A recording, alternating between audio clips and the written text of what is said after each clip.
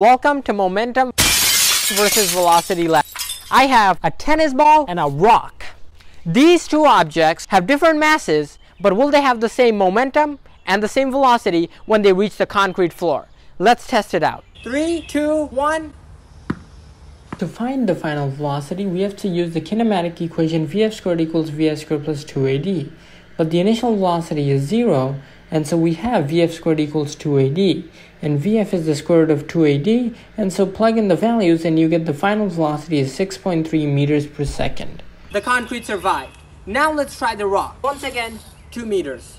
Three, two, one.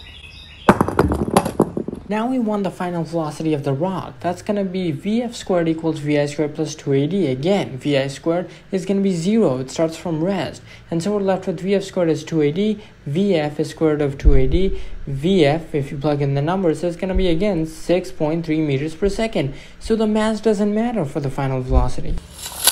Now we're going to change the surface. Not concrete anymore, but glass. One, now let's find the momentum of the falling tennis ball. P is mv, where m is the mass and v is the velocity. m is 0.05 kilograms.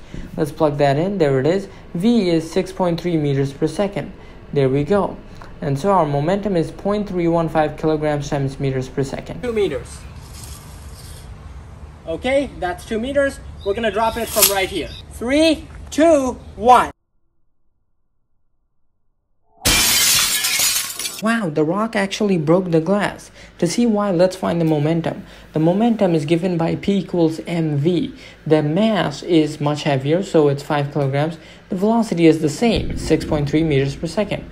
And so, the momentum is going to be 31.5 kilograms times meters per second. The tennis ball and the rock had the same velocity when they hit the glass. But why did the rock break the glass, but the tennis ball didn't? Answer that question, leave your answer in the comments below, and we'll check you out in the next episode.